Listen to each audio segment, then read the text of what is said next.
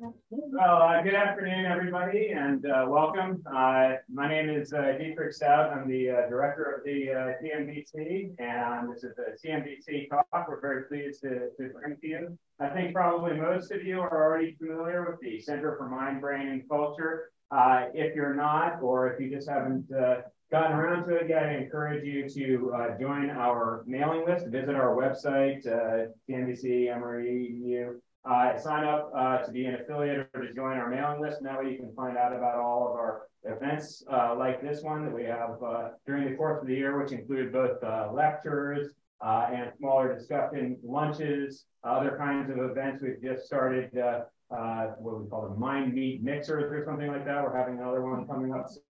Uh, so please uh, sign up so you hear about our events uh, like this one. Also, if you are a graduate student or you have graduate students or you know graduate students or like graduate students, we have a uh, certificate program that I would encourage you to check out um, in which you uh, take a, a, core course with us and then some other uh, electives around the uh, the university, eventually get a uh, certificate. We have some uh, resources to support our certificate students, including a little bit of money for travel and so forth. And it's generally a good educational experience. So if you'd like to learn more about that, please also visit our, our website. Um, but anyway, so that's enough about the, uh, the center. We're very pleased to have uh, Tom Griffiths with us today. Uh, Tom is the Henry R. Luce Professor of Information Technology, Consciousness, and Culture at Princeton University. So you can see even his title aligns very well with the kind of things that we're trying to promote uh, at the CMBC. Uh, I can say that he's a high profile researcher in decision making and reinforcement learning,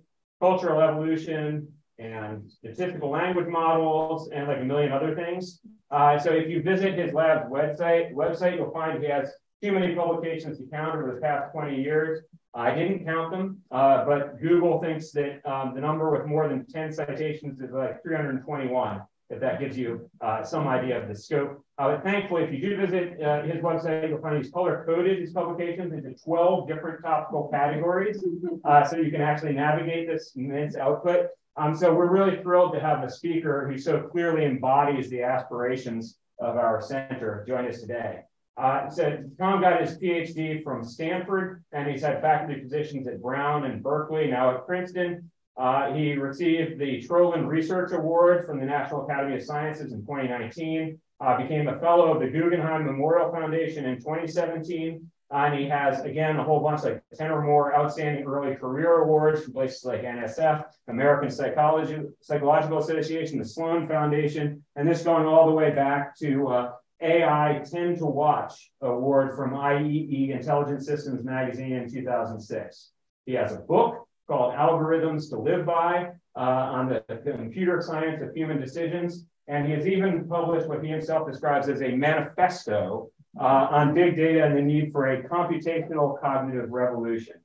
On his lab page, he sums up his interest as being in developing mathematical models of higher level cognition and understanding the formal principles that underlie our ability to solve the computational problems we face in everyday life. Uh, so I believe that's what we'll be hearing some more about today. Uh, join me in welcoming Tom. Hey, thank you for that very nice introduction. Uh, it's wonderful to be here. As you heard, uh, I'm somebody who uh, really likes interdisciplinary research, and I've been enjoying talking to people from all sorts of disciplines today. Um, I'm talking to you in the room and also people on Zoom. So I'm going to try and manage my, I'm going to stay in this location and not get too far away from my computer so people can hear. Uh, and we'll see how that goes. Okay, so what you're going to hear about today is uh, one small slice through all of those kinds of things that you were hearing about, which is really looking at the question of how it is that we should be using our minds um, and trying to answer question about, like in general, what is it that we we should be doing when we're trying to do things like make decisions. I'm just going to close that. Okay. All right. Um, so uh, I should say this is joint work with uh, Falk Lieder, who's at the Max Planck Institute on his way to UCLA, um, was a graduate student with me at Berkeley, and, and Fred Callaway, uh, who's a graduate student at Princeton, uh, just started a, um, a postdoc at NYU, um, and you'll see various other people throughout the talk. Okay, so one of the challenges of being an interdisciplinary researcher is that the people who you encounter are going to have different perspectives on the subject that you're interested in, depending on what field they're coming from. and so as somebody who's interested in you know humans and how human minds work, uh, my challenge is that you know when I go from the psychology department to the computer science department, I end up uh, meeting people who have very different views of uh, how well human minds work. So in the psychology department, you discover that humans are embarrassing, right? That we're not very good at making decisions, that we go around doing things that we shouldn't do. You find books that have titles like Predictably Irrational, Inevitable Illusions, How Mistakes of Reason Rule Our Minds, The Fallibility of Human Reason in Everyday Life, or Kluge, The Haphazard Construction of the, the Human Mind. Um, and these books are really, you know, summarizing a perspective, which is that, you know, when we try and make decisions, making decisions is difficult. As a consequence, we use various shortcuts, heuristics, those heuristics result in us making errors. There are sort of systematic biases that are associated with them. And as a consequence, you know, we're not doing necessarily a great job of, of trying to do the things that we try and do in the world. Uh, when I walk across campus to the computer science department, I get a very different perspective on humans, right? Uh, in the computer science department, humans are inspiring, right? If we want to build AI systems that are going to be able to solve problems intelligently. The best example we have for many kinds of problems of what it is we're trying to do is make something which is like a human, or you know maybe we can even beat a human at doing the kinds of things that humans can do.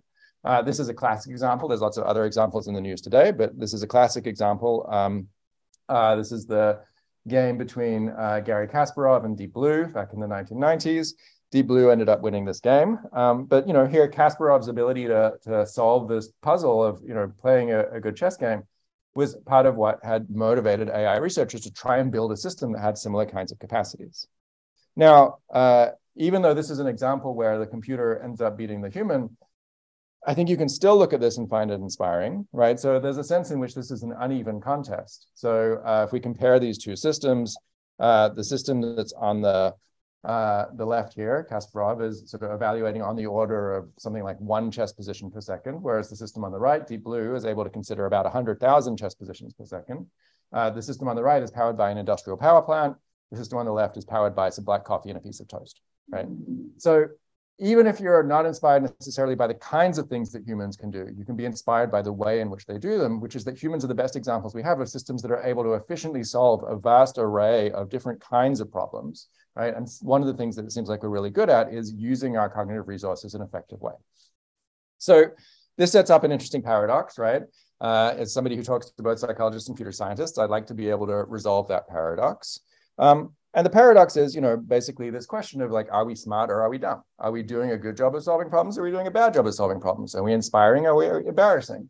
And I think we can resolve that paradox by uh, sort of accepting two premises. First of all, humans have limited cognitive resources. And that's part of what leads us to making errors when we're making decisions. This isn't a controversial claim. It's an idea that goes all the way back to the 1950s.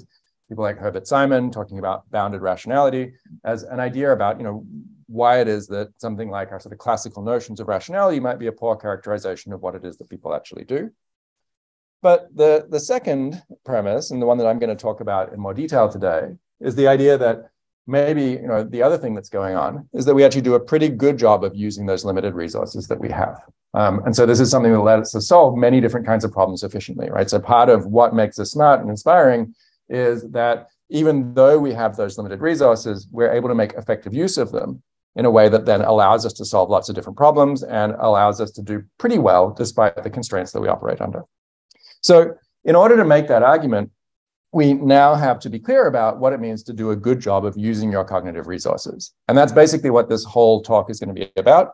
It's going to be about, you know, thinking about how to define rationality in a way that takes into account the fact that we're not able to, you know, sort of engage in infinite amounts of computation to try and solve the problems that we're trying to solve. So the classical notion of rationality, the one that we're normally compared to when we're held up as being embarrassing, uh, is the sort of notion of rationality that we're, we're sort of used to seeing in something like economics, uh, something like taking the action that has highest expected utility, where expected utility is evaluated by, you know, uh, basically you know, uh, considering the possible outcomes that could be associated with an action, for each of those outcomes having some utility associated with it, and then taking the expectation over those possible outcomes, just averaging together those outcomes with the probabilities that they occur. Uh, and so here, let me see if I can use this pointer. Yeah. So here, the, the emphasis is put on the action that we're going to take. So if you reduce this to a slogan, the slogan is something like "do the right thing," right? Do the thing that um, is the, the, the, the thing that maximizes expected utility. And so from a cognitive scientist perspective, there are a few things that are unsatisfying about this definition. Uh, one of them is that it says nothing about what you have to do in order to actually make this choice, right? There's nothing about what's going on inside your head, right? Nothing about the sort of cognitive processes you might be engaging in. Um, if we want to use a nasty word, we could say this is a behaviorist theory of rational action, right? It's, a, it's saying let's let's characterize rational action just in terms of the environments that we live in, and then the actions that we're going to take in those environments, just these sort of external things. There's nothing about the internal processes. And the other thing that's unsatisfying about it is that it's not really achievable, right? So there's no way that an agent that has any kind of finite computational resources can actually achieve that kind of criterion of rationality because it requires us to make this choice without actually knowing anything about how hard it might be for us to evaluate expected utilities or sort of consider possible outcomes in a particular scenario. And so AI researchers in the 1980s who were interested in building AI systems that could do meaningful things were unsatisfied with this definition for the same reason. They wanted to say, well, what is it that an AI system actually should do? And that led to an alternative, sorry about that, definition of rationality uh, in terms of uh, something that uh, I'm going to refer to as resource rationality. It's gone by a few different names in the, um, the, the AI literature. So bounded optimality, computational rationality, various kinds of uh, sort of characterizations of this. But the basic idea is that when we're thinking about what constitutes rational action, uh, we're going to think about rational action as being not about the actions that we take in the external world, but the actions that we perform inside our head. And so we're going to characterize the rational agent as an agent that's using a strategy or an algorithm or um, you know a, a, a, a policy which is doing a good job of trading off utility and computational cost and trying to select what these actions are. And so now, if we look at this, here we have our, our sort of equation that characterizes this. It's a bit more complicated than this one over here. But the basic idea is that now the thing that we're going to sort of focus on is this policy or algorithm or strategy. And we're saying choose the best strategy, uh, where a strategy gives you a sequence of computations you're going to execute that are going to result in beliefs that you have, such that if you end up taking the action that maximizes expected utility based on your current beliefs, you end up doing a, a reasonably good job of solving the problem you're trying to solve. And so implicit in this equation is this trade-off between the expected utility that you end up with and how hard you have to think in order to get there in the first place, right? This trade-off between the computational cost of selecting an action and then the benefit of the action that you end up receiving. And so here now the emphasis is put on you know, taken off the thing that you do and put onto the thinking that you do in order to get you to the point where you're ready to, to make a decision. And so if I reduce this even further to a sort of cartoon picture, something like this, right? On the left, we have expected utility theory. The emphasis is entirely on the action that we take. On the right, we have resource rationality, where now we're going to think about the internal computations that we're going to execute in order to select that action in the world. And now the problem that we have to sort of solve is, is one is saying, okay, now what are sort of good things for me to think about in order for me to be ready to, to make a reasonable decision? Okay, so I'm going to use this framework throughout this talk to uh, try and engage with now some of these kinds of questions about do people do a good job of using their cognitive resources? And the first thing that we can do is we can go back to that classic sort of uh, characterization of human cognition in terms of maybe being embarrassing and sort of you know these error-prone heuristics that we follow.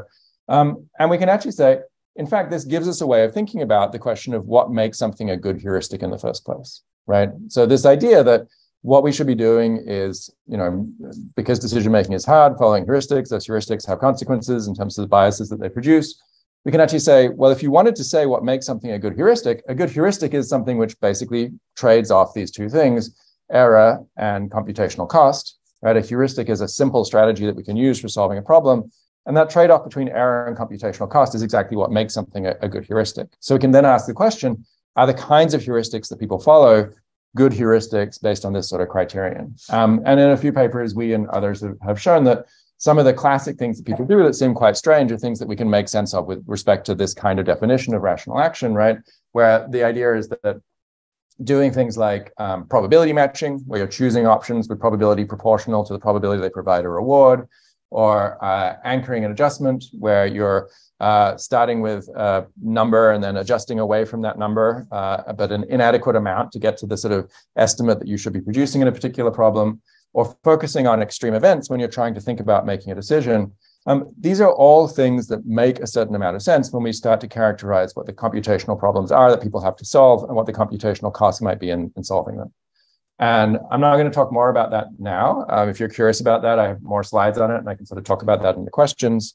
What I'm going to focus on in this talk is how we can go beyond these cases where we kind of knew what the answer was already, right? We sort of knew that these are weird things that people did. And then we went back and said, maybe we can explain those in terms of this kind of framework um, and try and engage with a different question, which is, can we use this kind of approach to make predictions about the kinds of strategies that people will engage in when they encounter a, a, a, particular task, right?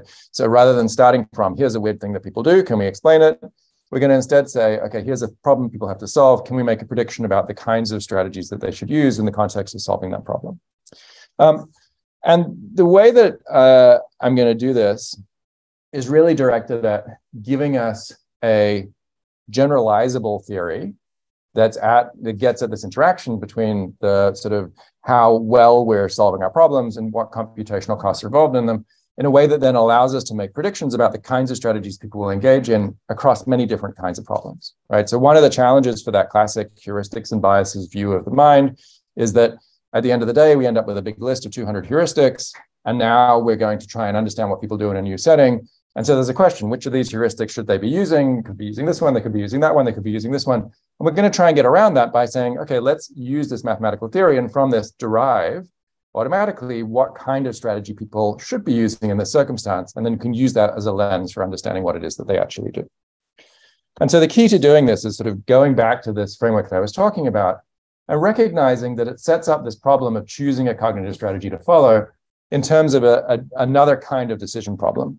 So the decision problem that we now have, if we're trying to choose what strategy we're going to use, we can think about what a strategy corresponds to as some sequence of computations we're going to execute in order to allow us to solve a problem. And then we can think about that problem in terms of basically making a sequence of choices about what computations we're going to perform. So we can say, okay, I'm going to make a decision. Now, what should I think about first?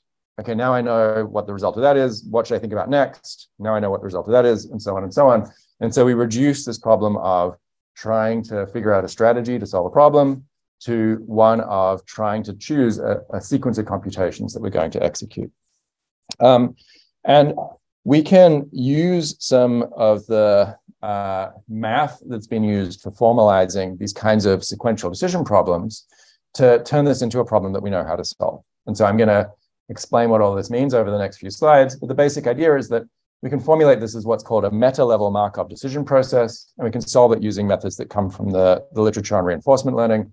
Um, and so these are methods that are you know, used in computer science, but have also informed a lot of work on the sort of cognitive neuroscience of reinforcement learning. Um, and so this gives us a nice connection to an existing psychological neuroscientific literature, uh, as well as a set of tools for solving these problems abstractly. Okay, so what does this mean? What's a meta-level Markov decision process? So I'm going to start with the idea of a Markov decision process. And so this is the standard formalism that's used in uh, computer science and statistics and so on for characterizing how it is that we should actually solve a decision problem where we're going to make a sequence of decisions and the outcomes of our previous actions are going to influence what the, the current decision is that we're going to face. And so the way that this works we assume that the world is in some state. We're going, going to then uh, take an action. Based on the action that we perform, the world transitions to a new state, and then we receive some reward.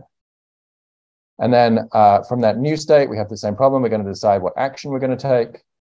The world is going to transition to a new state, and we're going to receive some reward. Okay, so that's kind of abstract, but you can think about this as characterizing all sorts of different kinds of problems. For example, if you have like a, a, navigation problem, I'm trying to get from here to the, the door over there, right? I know what my goal is, my reward I will receive when I get to the door. There's some cost for taking each step. Uh, and so the current state would be where I'm standing in the room.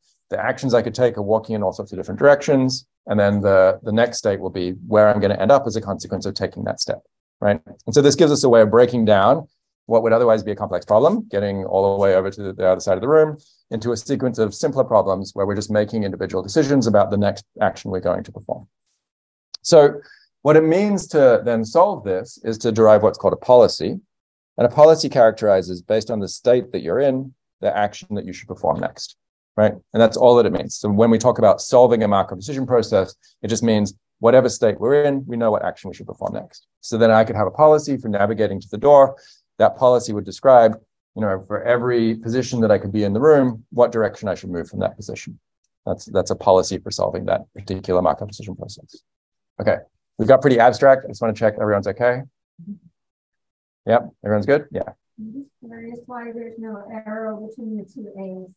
Uh, it's it's because the the action that you're using um, is presumed just to depend on the state that you're in, right? So like it says, if if I had a robot that was following this policy, all it would care about is where is it in the room, right? And uh, then it's gonna take its next action depending just on its location. It doesn't need to know what happened before that. And it's called Markov because there's the, the dependency between states is just, just based on the previous state. Okay, everyone's good? Okay, all right. So now a meta level Markov decision process uses this same logic, but rather than applying it to the actions we take in the external world, we're going to apply it to actions that occur inside our heads. Okay, and so now instead of states, we have beliefs. Instead of actions, we have computations. And instead of these costs being costs that we're sort of physically incurring, these are costs that we're incurring cognitively, right? And so now the idea is we have some belief state. We're going to execute a computation. That computation is going to change our beliefs. So you could think about this as doing something like getting a, a sample from the world or getting some information we're going to use to update our beliefs. Uh, use something like Bayesian inference to update our beliefs. So now we have new beliefs. There's some cost that was associated with having expended that, that unit of computation. And then, uh, you know, we now in this new belief state, we're going to choose what computation to execute next and so on and so on. And at some point, we decide we're going to use this special action, which says, I am done thinking, right? And I'm going to take an action in the world. And when we do that, we take an action based on our current beliefs and we receive some reward, right? And so now to solve this meta level Markov decision process means figuring out what computation you should execute, what it is that you should think about based on the beliefs that you currently have. Okay. And so uh, I think hopefully you can see how this solves an interesting problem for us as cognitive scientists, in that it actually gives us a way of saying what you should be thinking about at any particular moment, right? Um, and that gives us a whole new tool for revisiting a whole lot of questions that we have about, you know, cognitive psychology, where we can ask, you know, is the way that you're searching for things in memory the way that you should be searching for things in memory? Is the way that you're paying attention to things the way you should be paying attention to things? It gives us a set of tools that we can use for sort of comparing our internal cognitive states to some kind of, you know, criterion of rational action. And so what I'm now going to do is just show you a few examples of using this framework to analyze various different kinds of things that people do. Um, and so the first of these is in the setting of multi-alternative risky choice. This is joint work with Paul Krueger, Fred Callaway, Sayan Gul, and, Falk Lieder. And we chose this because it's a paradigm that's been used over many decades to study the kinds of strategies that people use when they're making a decision. The basic idea is that you're going to make a choice between different gambles. Um, for these different gambles, uh, the way that they differ is the different outcomes are associated with different payoffs. So you have a list of the different outcomes. Here you can imagine that there are some balls with letters on them that are sitting in an urn the balls, there's different numbers of balls of different kinds in the urn. And so you kind of know the probabilities that are going to be associated with different outcomes. What you don't know is the payoffs that are associated with those. And the way you get payoff information is by clicking on one of these cells, and then that reveals that information. And so the reason why we use this paradigm, which is called the mouse lab paradigm, is that it's a good sort of first pass for testing out this theory because it forces us to externalize the computations that we're doing. The idea here is that by looking at what people click on, we kind of know what payoffs they're thinking about. And that gives us clues about the kinds of strategies that they're using. And so classic work in this paradigm has shown, for example, that one strategy people use is something called the take the best strategy, where they focus just on the row that corresponds to the highest probability outcome. They click across there, and then they choose the item that has the highest payoff from that row, right? And you can contrast this with the classical expected utility, right, which would allow require you to consider all of the possible payoffs and then you know add them up and calculate the expected utility that's associated with each of these gambles. So we can put this into the kind of framework that I was talking about uh, where now our beliefs are about what the things are that are behind those little gray boxes, right? And we can sort of have a probability distribution that characterizes the beliefs behind those boxes. The actions we take are evaluating one of the options, right? By clicking on one of those boxes and getting some information. There's some cost associated with that.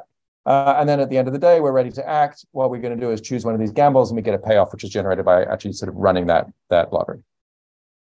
Um, and so what we did was, was actually just cover the sort of entire space of these different tasks by looking at manipulating things like how much money you get, like you know what the distribution is of payoffs that are associated with um, those different uh, cells in our matrix, um, by manipulating the um, the amount of skew in the probability distribution from something which is very skewed to something which is very uniform, and by manipulating the explicit cost which is associated with clicking on those cells, how costly it is to evaluate one of these options.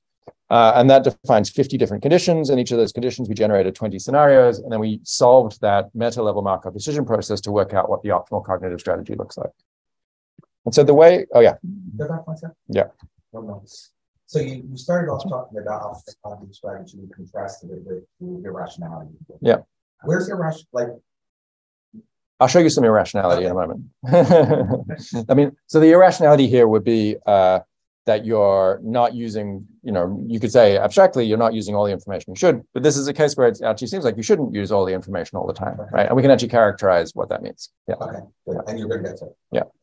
And the, the cost you're modeling here is just the explicit manipulated cost. Yeah. The, you know, that's right. Computational cost. Yeah. And that's going to come up um, later on. Yeah. Okay. All right.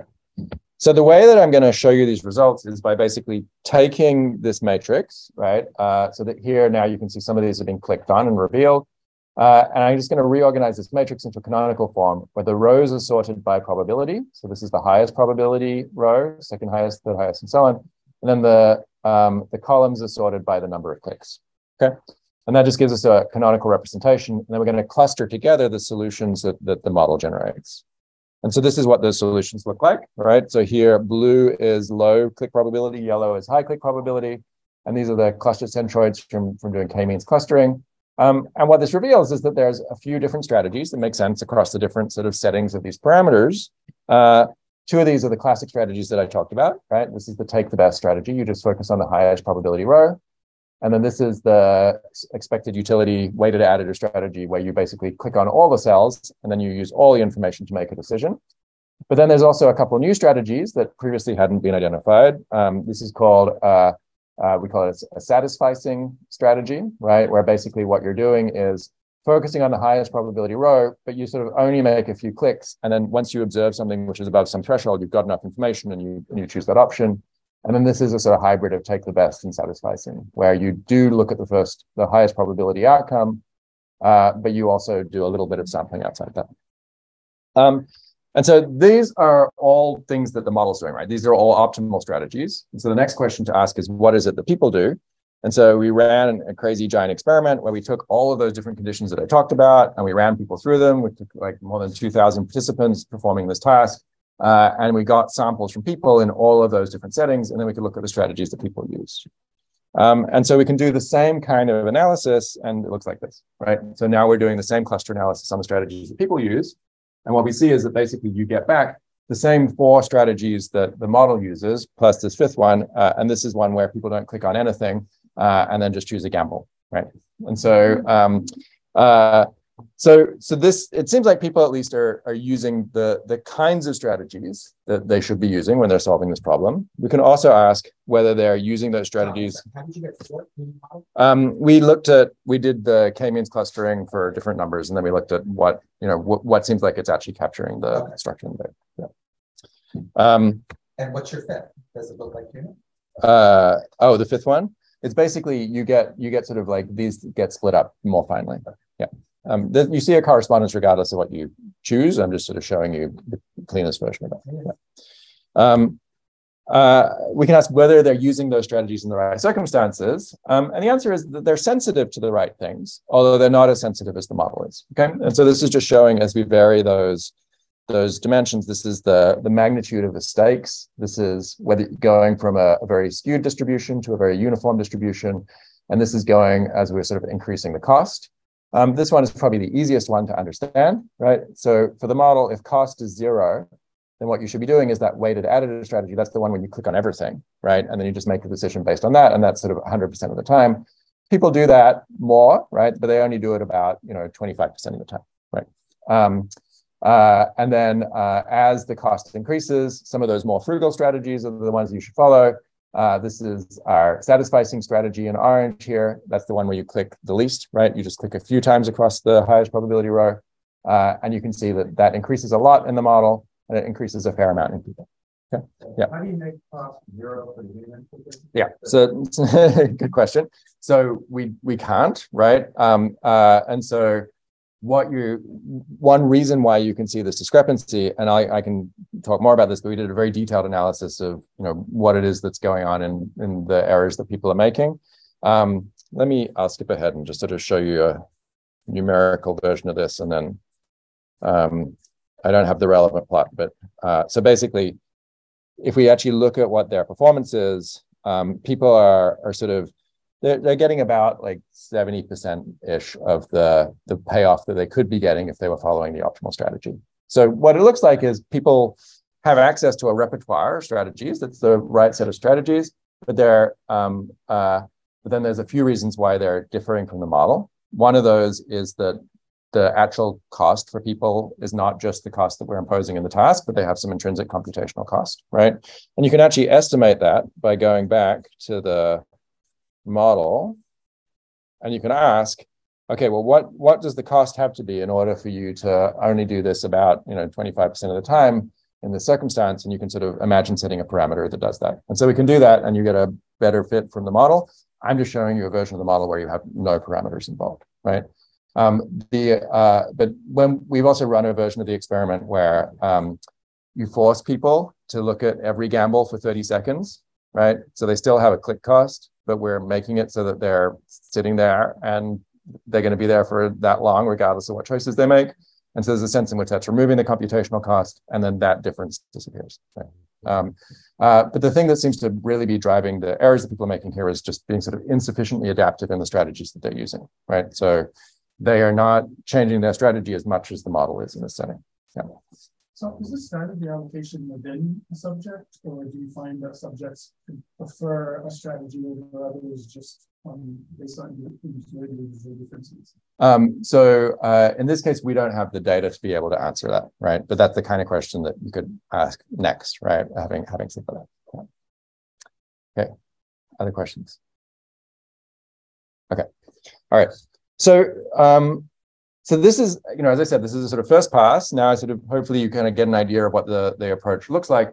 What I'm now going to do is try and uh, address a couple concerns you might have, right? One of them is that we had this explicit click cost and we're forcing people to externalize the, the, the, the computations here, right? That's a little bit artificial.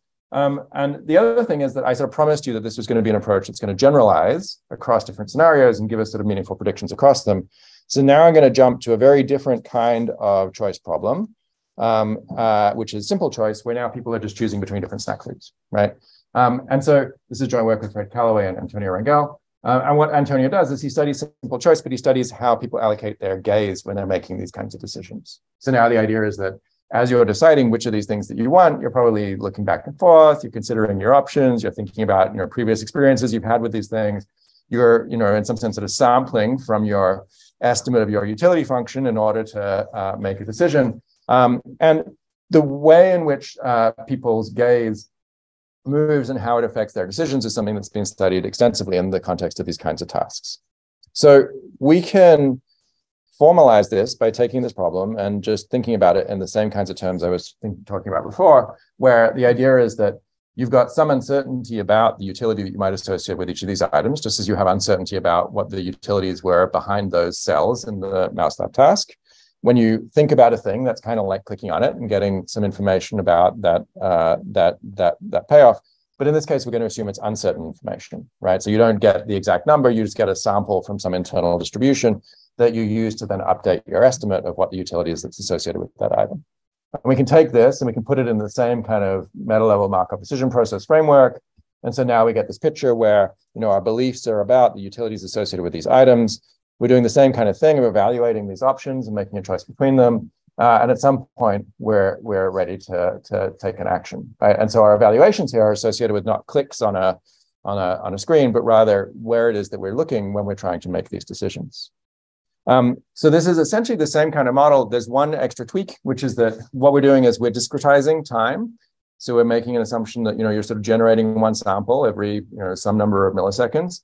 Uh, and so uh, what we then do is we say you can keep looking at the same thing, or there's uh, uh, an increase in cost when you look at something else, right? So there's a, a, small switch cost that we have to add into the model, but that otherwise it's the same kind of model as the one I was talking about before. And then we can use this to look at data that comes from this kind of task where you give people these snack foods. They first of all uh, give you a, a, rating for all of the snack foods of how much they like those. I'm sorry, people are getting hungry now. Um, uh, so you say how much you like all of those snack foods, uh, and then you put them in the choice scenario, and then they're given a choice between three foods. And then you look at what it is that they're looking at, and then what it is that um, uh, they end up choosing. And so from this, a classic result is that how long you spend looking at something and the probability that you choose it uh, are related, right? And that's what this plot is showing. This is fixation time for how, how long you uh, look at a particular item, probability that you choose that item, the black line is the human data. The red line is the model. This is something that falls directly out of that model that I was talking about. And the reason why this comes out of the model is if you've got some options in front of you, if you sort of first look at everything and sort of get a little bit of information about it, then what you should do is really focus in on the things that you think are the things you're more likely to choose, right? So if you've sort of say, seen this thing, yeah, I think that's not that great. These two look pretty good. Now I'm making a decision between these two things, right? And so I'm going to focus my fixations on those things. And you know that's the sort of rational thing to do in terms of gathering information you're going to use to make the choice. And so that means that you're going to be focused more on the the um, uh, the things that you're you're ultimately more likely to choose. And in particular, you're going to be more focused on high value items, right? Because the information that you're getting by sampling is sort of veridical and giving you some information about the value of those things. And again, this falls directly out of the model. Uh, and that focus on those items is going to increase as time goes on, right? So the, the longer you spend an experiment, the more certain you are that you've ruled out uh, some of these options, the more focused you're going to be on those which are actually relevant to your choice. Uh, and again, this is something that falls out of our model. Okay, so uh, those first two examples were sort of in a very simple, flat sort of choice-like setting. But what I used as my motivating example was something like this, where now this is engaging in a much more complex kind of decision, one that involves us thinking about the future and sort of planning out, you know, what it is that we're going to do. Uh, and so we use the same kind of paradigm to investigate what goes on in the context of these kinds of planning problems. Um, and so this is joint work with Fred and then with Bas van Opheusden, uh, Gul, Priyam Das, Paul Krueger, and Falk Lieder. Um, what we did was basically take the same kind of mouse lab approach, but now apply it in the context of this sort of planning problem. And so here, your job is to help this little spider to navigate through this web. Uh, and the spider is trying to find the best path, which is the path that has the highest payoff, where the payoff is the sum of all of the values that it visits along that path. And the catch is that you have to do this without knowing what those values are, right? So we turn this into a sort of mouse lab like task where now you're going to click on uh, a node in order to gather information about what the payoff is that's associated with it. And again, this is the strategy of externalizing our you know, sort of evaluation of these states in order to give us a way of measuring what it is that people actually do. And so we can translate this again into this same kind of framework where now your beliefs are about the values that might be behind those different cells. Uh, your actions are evaluating each of those, those, those nodes in the graph. There's a cost associated with it and so on. And at some point you take an action and you choose a, path through the graph. And what we're able to do is to compare the choices that people make about which nodes to evaluate to the predictions that are made by different kinds of planning algorithms, right? So a planning algorithm in computer science, the kinds of things that you would use for solving this problem of figuring out what chess move to make, those algorithms are based on basically sort of like trying to make intelligent decisions about which nodes to explore in a graph that looks like this, right? Which possibilities to consider, which paths to go down when you're trying to find out what a good path is. And what we find is that that optimal cognitive strategy that we derive from our model actually does a much better job of characterizing human choices than the kinds of algorithms that are used in computer science standardly for so solving these kinds of planning problems. Um, this is not a you know very interpretable uh, way of visualizing these results. So I'm going to show you an intuitive visualization. But the key idea here is that this number, which should be small, is smaller for the optimal strategy than for these other things.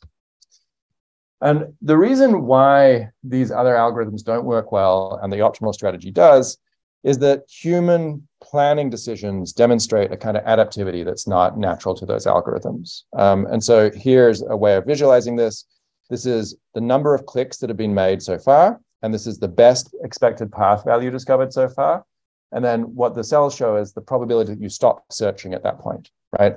So um, dark blue means low probability of stopping, and then yellow means high probability of stopping.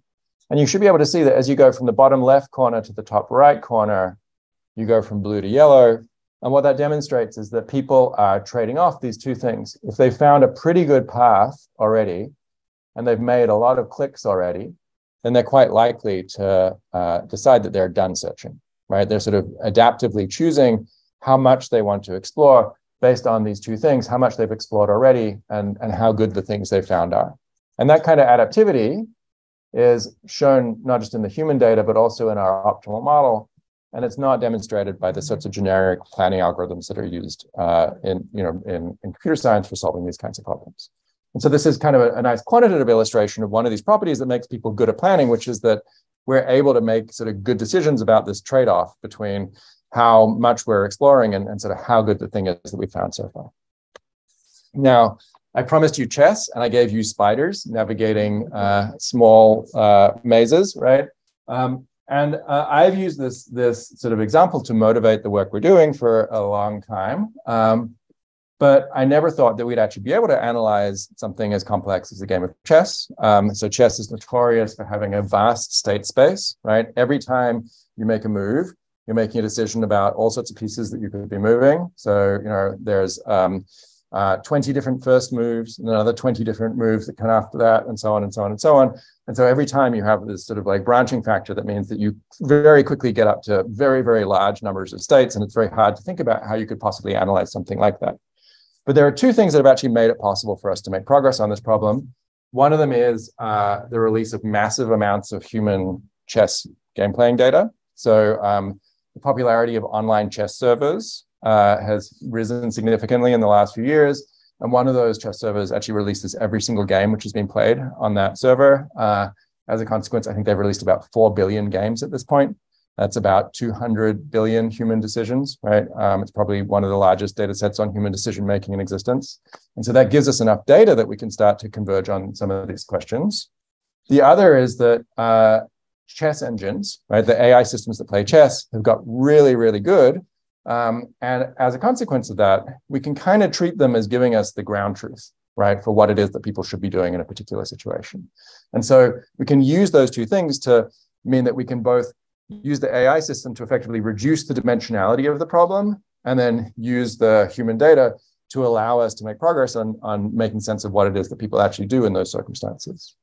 And so this is a, a recent project that we just kicked off. Um, with Evan Russek, Dan Acosta-Kane, Bas van and, and Marcelo where we've been looking at whether people actually do a good job of using their cognitive resources when they're playing a game of chess.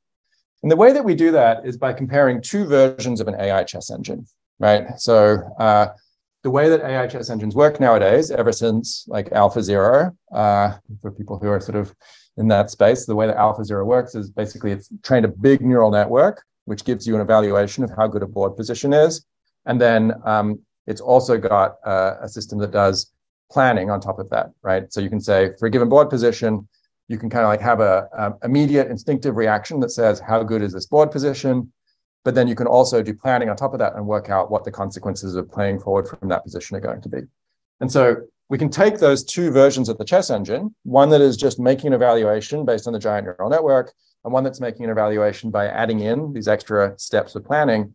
And we can say, let's use that to measure how valuable the planning is, right? How valuable it is to engage in that extra thinking for this particular state of the, the chess game. And so we can contrast what's called the, the depth one move, right? Which is where we're not engaging in planning. We're just sort of looking at the quality of the board positions versus the depth 15 move, where we're planning 15 moves out into the future.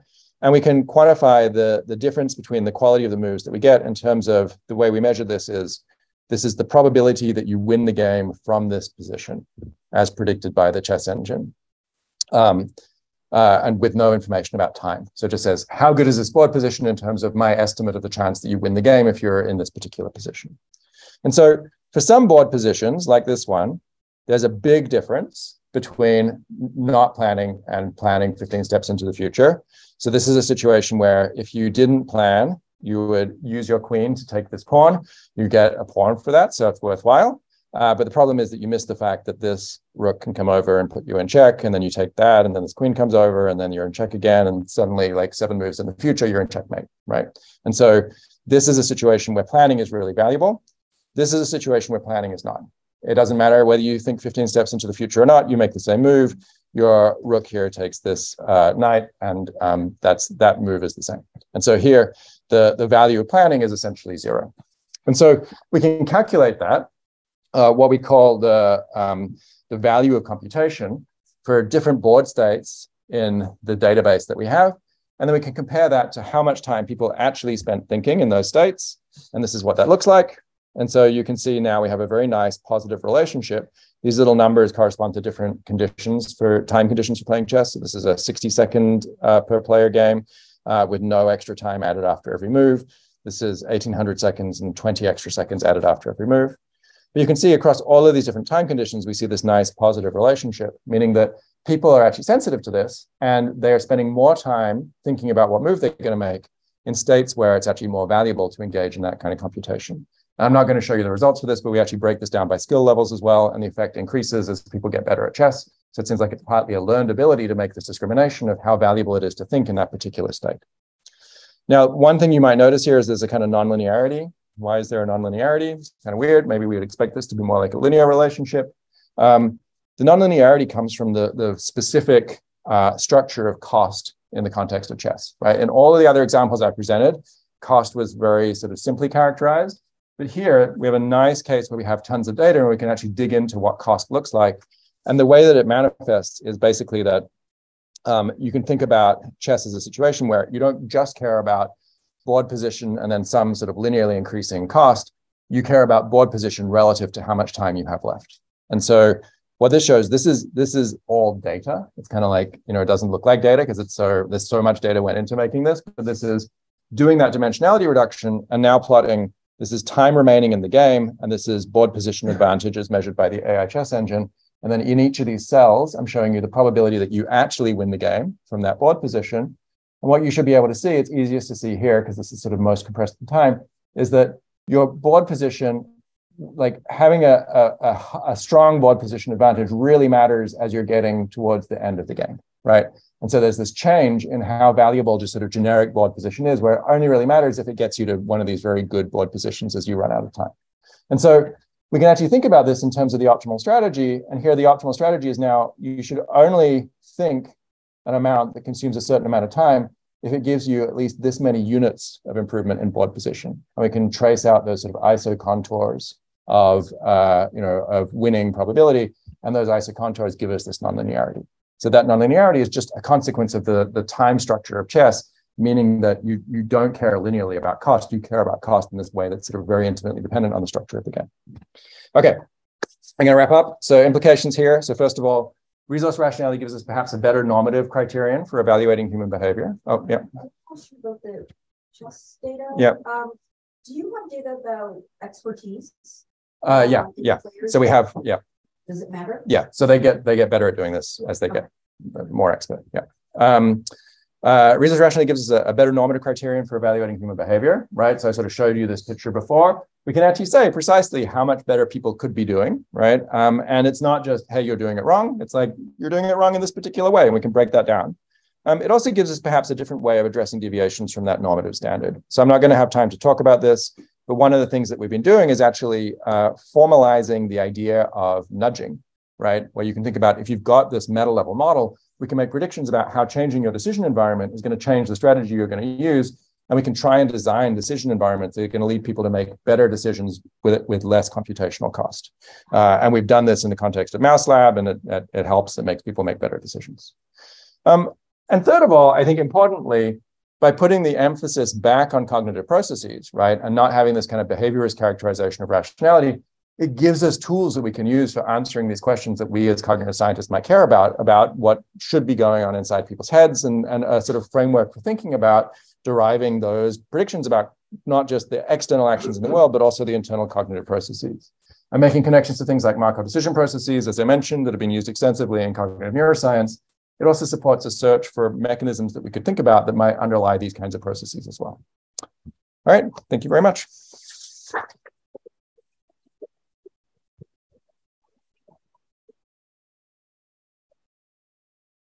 Okay.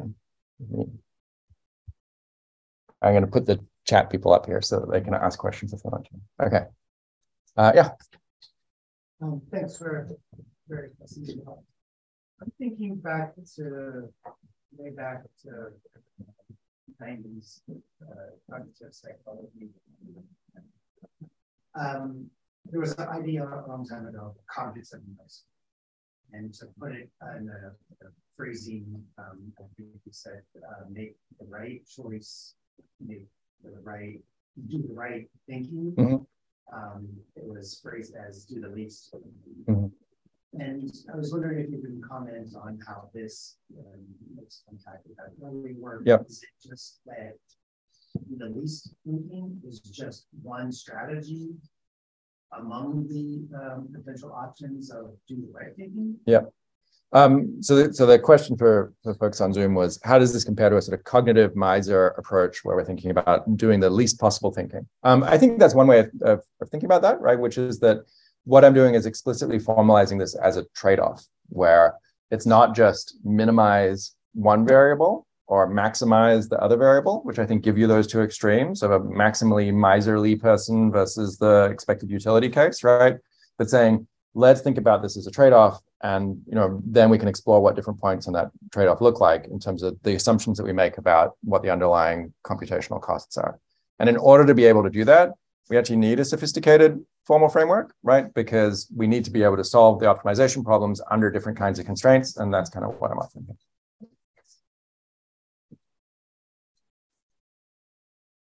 Fascinating. Thank you. Um, one question you may have addressed, but um, so you're contrasting a model based on cognitive states with one that really just sort of focused on the consequences of the Could those two be added and would they make different predictions? Could you use the same machine? Yeah. So you just focused on sort of behavioral outcomes as opposed to postulating these cognitive states. With those two models Okay, so the question is, if we, you know, how, how do we get different predictions out of models that do and don't have cognitive states in them? Yes. Yeah.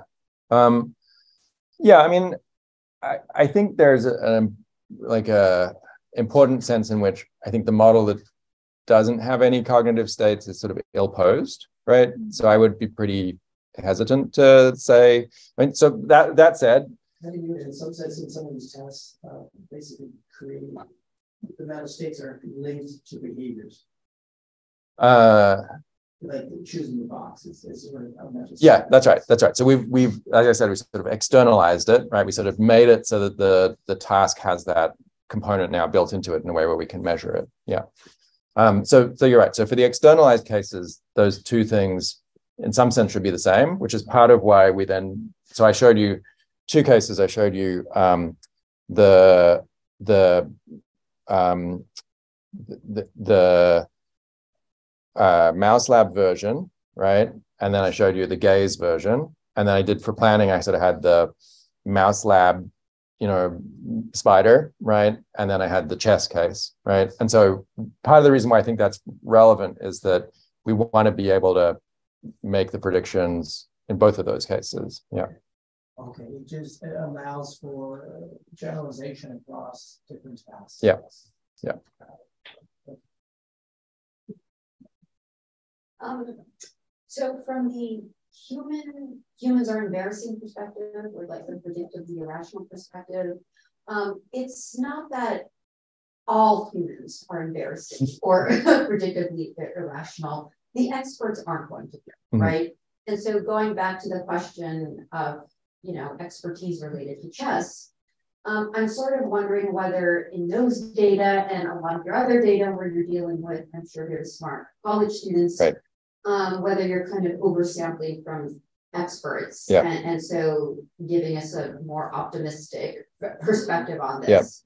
Yeah. um, what does learning look like? You know, Yeah. are you are people um, general generally starting with these um, optimal strategies and just fine tuning them, or is there more of a categorical shift whereby people may start as less optimal Yep. and then shift based on it? Okay. So great question for the folks on Zoom. The question was, uh, are we just focused on experts here? And then what does learning look like when we consider these populations? So, so one nice thing about this framework is that it actually gives us a way of thinking about learning by making that connection to reinforcement learning. So in reinforcement learning, there's two general strategies people talk about for, for, for learning how to solve something like these kind of like sequential decision problems. One is called a model-based strategy. Um, and that's where effectively you kind of like learn a model of the world and then plan in that model of the world. And then the other is what's called a, a model-free strategy. And that's where you basically are just learning in this state, I perform this action, right? And you're learning the association between states and actions. And so both of those are things that we can actually do in the context of this, this task. So um, uh, wait, let's see if I can. Uh, so um, the we've looked at both of these. So the, the model-based version is basically like if you've got a set of strategies that you could you could be using, you can kind of build an internal model of what it would mean to to use that strategy to solve this problem, right? And so you figure out roughly how long it takes you to do something if you do it a particular way, roughly how likely it is to succeed, and that gives you the components you need to make that decision. Um, the model-free strategy is actually taking the meta-level Markov decision process. Remember, we're talking about those cognitive action, those computations you perform, and then learning, oh, that's an effective kind of thing to think about in this kind of circumstance. Um, and that's something where, you know, that sort of gives you a, um, uh, a way that you can actually go through and, and, and learn these kinds of things. And so we've looked at both of those, but let me show you some of the results from the um, uh, the, the, the metacognitive reinforcement learning. So this is using our, our, our spider task. What we do is we give people feedback um, on like whether the, the metacognitive actions that they're performing make sense, right? Whether they're sort of searching too much or searching too little. Um, and they, they basically uh, get a delay, which is defined, which is based on um, like how close they come to using the optimal strategy to make a decision in that circumstance. And that gives them a signal that they can then use for, for doing metacognitive reinforcement learning. And so what we find is that when we do that, um, people, so this is, this is um, uh, again, college students, but you know, they're sort of people in general sort of get better at performing this task as they go along. Um, but if we give them that metacognitive feedback signal, they get even better, even faster, right? Um, and and then end up producing, um, in this case, sort of optimal performance at the end of the day. And so we think about that as being a thing that's going on for all of us, which is that you know, as you're going around and trying to solve different kinds of problems, you're getting feedback about whether the way that you're thinking about things is actually effective, and that feedback you can integrate into learning. It might take a really long time though to figure that out because that's not explicit feedback in the way that we're perhaps used to when we're learning about the work. So thanks, thanks for your. I think it's a really cool idea that you're taking this this thing that could be in the physical world. I, I can't help thinking of it as optimal foraging once I'm yeah. say, okay, let's think about it as optimal foraging in the mind. And one of the things I'm just wondering if you can say a little more about is, you know, the optimal foraging literature was so cool and and and uh, I loved it, but it kind of died out because I think in part it just it wasn't clear what the constraints are supposed to be that that, that are limiting optimality. So you yeah. see some cases where animal is pretty optimal, but they say, okay, well, there's these things like how many how many things can you remember? How long can you remember? Right. How well are you estimating time? How well are you estimating yeah. caloric intake? And I, I was waiting for you to about those things. And I feel like we, we've taken that same limitation and now we're seeing it again that, that you didn't talk about how many possibilities can a person entertain at a time. Mm-hmm. How well can they remember those? I wonder if you could just yeah. Okay, so the question was, um, it it it seems like I mean I'm, I'm going to re- rephrase, right? It's like it, it it seems like there's a lot of knobs that we have to set in order to use this about what the costs are and what the actions are and so on.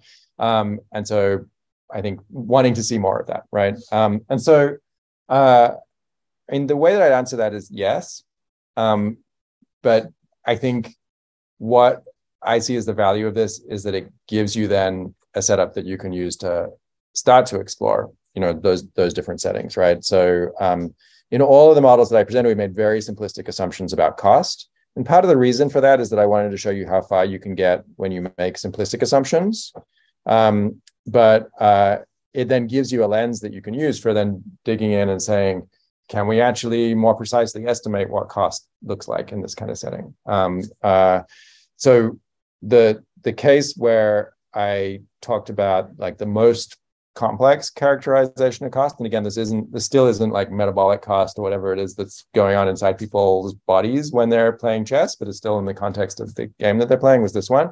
And I think scenarios like this are actually really useful because they allow us to have enough data to get us beyond those simple assumptions. And so a lot of what we're we're we're actually using this case and starting to dig in deeper and see if we can actually get some more insight into things like one of the big questions that I didn't answer here is how the heck are people even knowing what the value of computation is, right? Like how how do you figure out that you should think in this chess position without thinking. um, uh, and so we have another model which actually estimates that. It sort of like looks at a chess position and then produces an estimate of, um, of this quantity. But, but those are the kinds of things where, you know, in at least the cases where we have a lot more data, we can start to dig in and, and make some of those more fine-grained kinds of decisions. And I think that's a, that's a thing that might be different from the animal case to some extent, is that we really can get massive amounts of data in some of these settings that um, might allow us to get that kind of resolution. Yeah, I think where you might still be a little stuck though is the constraints, right? Yeah. It's, it's the constraints on the system that that really uh, dictate what what can be optimal. Because if you if you you know the computer can consider hundred thousand options, the person can only consider one. Yeah. Well, that's that's That's a constraint. Yeah, yeah, yeah. Uh, yeah, great job, thanks. Um, so it strikes me that the, the hard problem hard AI research is building specific AI like chess systems to know, general, general, general and others. And, and part of that problem has to do with the difference of utility functions involved. So that specific domain like chess utility functions clearly defined. Um, and in most of the examples it, it was as well. So general purpose problem solver solver has to not only make decisions in the face of an unknown utility function, but also choose which utility functions to try to optimize. And that those uh, and, and defining those utility maximization decision making processes is something that AI researchers I think today fails to do. Mm-hmm. So do your results speak to the path toward I guess domain general AI and, and if so how? And if not, I guess not? Um, okay.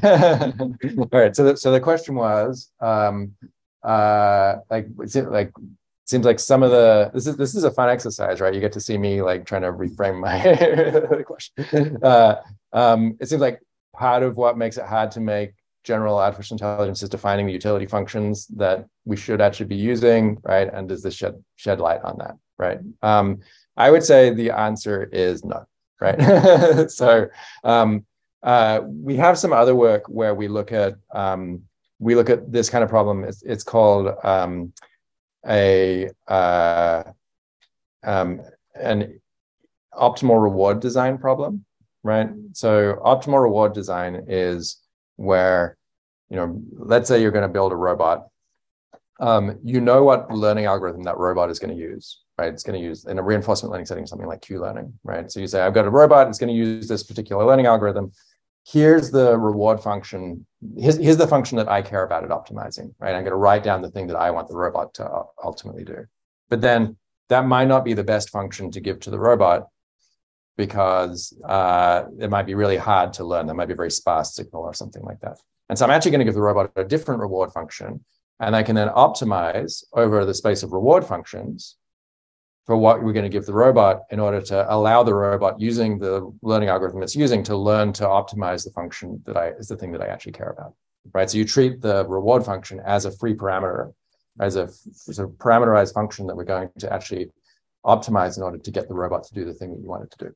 Um, so we have some work where we use that to explain human happiness, right? Where the idea is that that internal sense of happiness you have is an optimized reward function, which has been optimized by something like evolution, right? In order to get evolution to do the things that evolution wants you to do.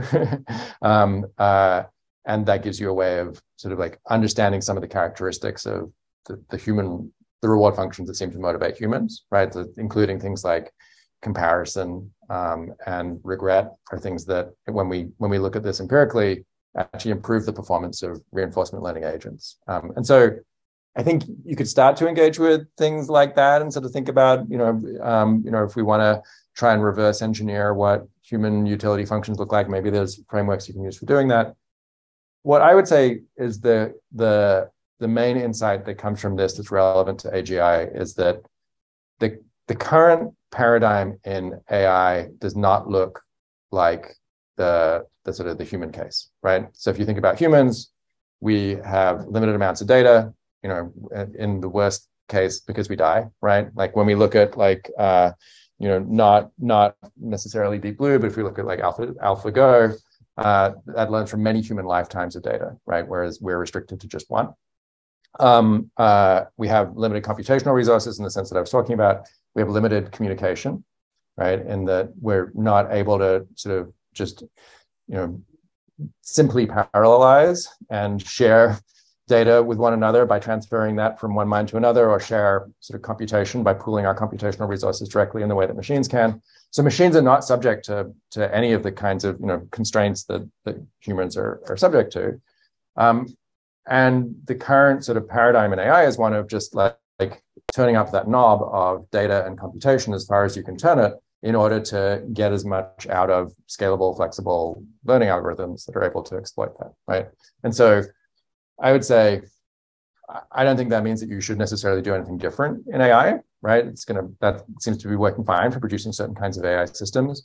But if you wanted to produce systems that are like people, then the constraints actually matter, right? What makes humans have the flavor of intelligence that we have as humans is those constraints. It's that we need to be able to efficiently use the limited resources. We need to be able to use the amounts of data that we have.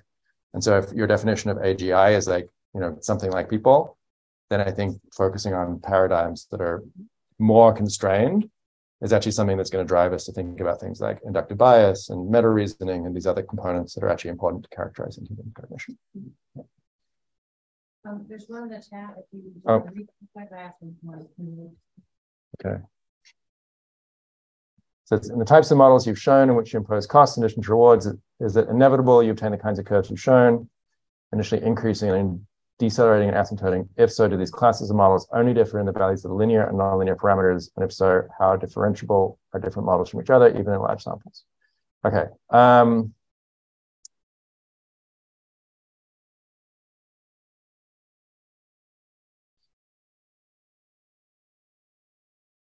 So I think you should be able to differentiate different kinds of costs. I think the chess case is a nice illustration of this. So when we went into this, we weren't expecting to see this kind of nonlinearity, and it falls out of this kind of nonlinearity that's intrinsic to chess. Uh, and if you didn't have um, this kind of structure, then you would get out a very different sort of looking optimal strategy, right? So this this optimal strategy is very much determined by the shape of the uh, the the particular sort of relationship between time and and board position that you see in the game of chess. Um, uh, and we, are actually currently doing some analyses of Go, which has a different reward structure. It seems like we get something similar, but that's still TBD. There's some uh, some issues with the way that the the the the um, uh, AI agents work for Go, but I think I think with large data sets, it should be possible to um, to differentiate some of those things. All right, great. Thanks. Cool. Uh, very cool work. Um, I'm going to ask a slightly speculative question. You started touching on it, I think, in last two answers ago, but I, it really feels like your work is starting to touch on this idea of like, okay, so like a human can play chess on a cup of coffee and piece of toast, but a computer requires a whole power plant. And I'm curious if anyone in the lab is working on, or if you can just talk about how you work to um, training computers to solve the sort of naturalistic problems with far fewer power, far less carbon footprint than what they currently use to be efficiency front. Yeah, um, we at the moment are not doing that. Just just to sort of explain the sort of context of that. So um, at the moment, what we've been focused on is just characterizing what those optimal efficient strategies look like. Right? One problem with that is that actually computing those optimal efficient strategies takes more computation, right, than uh, in some of these cases, sort of solving the problem straightforwardly, right? So, so that's useful to us as cognitive scientists for knowing what those optimal strategies are and being able to compare them to people and sort of get insights in that way.